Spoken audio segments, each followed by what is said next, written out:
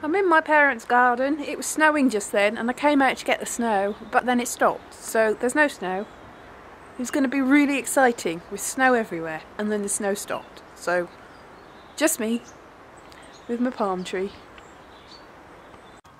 Got some snow drops. Not quite the same, but I'm fairly sure that's... No, it is snow! Snow! Oh, some of it's stuck. Wow. Thought it was slug pellets, but it's snow.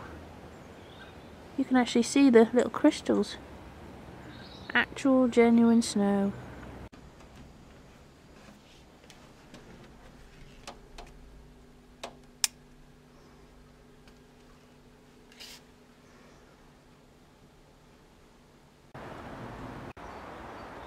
So I'm in Wales and it's cold. I forgot to put gloves on and I couldn't find a hat I liked.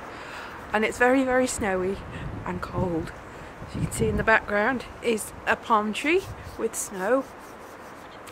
And here's me freezing. I have got gloves. I should put gloves on. Uh, it's getting snowy. Apparently in London the buses have stopped because it's so snowy and it's more snow than they've ever had for years and years. But I'm not in London. I'm probably going to be stuck in Wales now.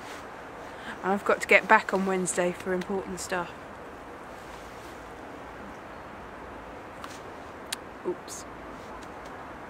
I was going to rest the camera on this post, but it's all covered in ice. Look.